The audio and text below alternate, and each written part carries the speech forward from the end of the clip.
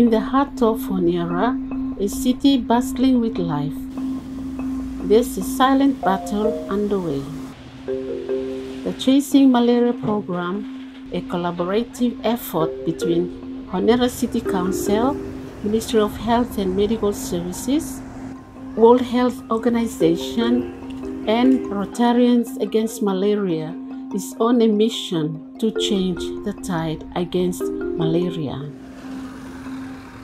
Part one of the program begins at the public clinics where healthcare workers work diligently to track and respond to malaria cases. Step A Gathering personal details and mapping the patient's location. Every detail counts in the fight against malaria. cleaning surrounding cleaning cleaning. Step B Malaria counseling and a preliminary case investigation.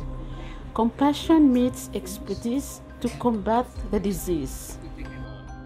In part 2, the program takes a strategic approach. Morning everyone, welcome na lo this pala um, weekly meeting blemi where imi baluk lo um, data blo chasing malaria. Step C The Malaria Task Force meets every Friday, analyzing data to pinpoint the hotspots.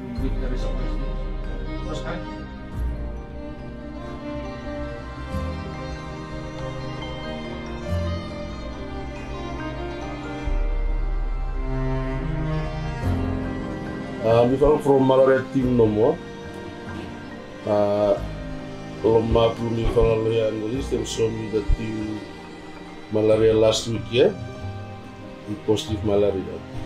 Yeah, and some that uh, area prevalent hotspot no malaria so we will back up notify area prevalent for spray na yeah.